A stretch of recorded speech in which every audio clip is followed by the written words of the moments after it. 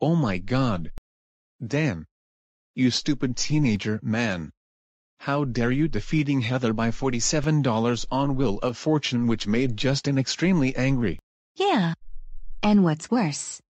He is the winner on Wheel of Fortune by getting 55 and $250 which made Justin exploding anger at you. And you know what? That's it. You are grounded grounded grounded grounded grounded grounded grounded for 12 weeks.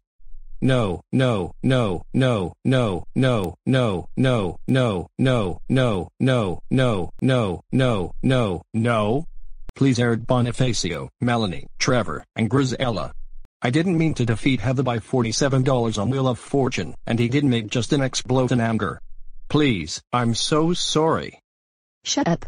And I don't give a sweet potatoes about it.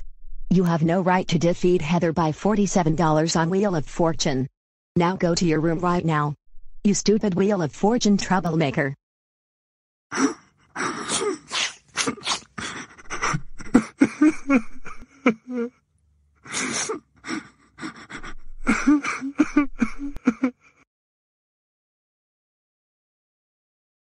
Erik Bonifacio, Melony, Trevor, and Graziella Olsen.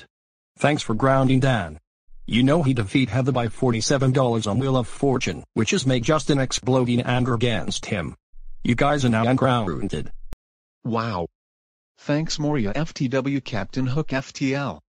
You are the best at the best.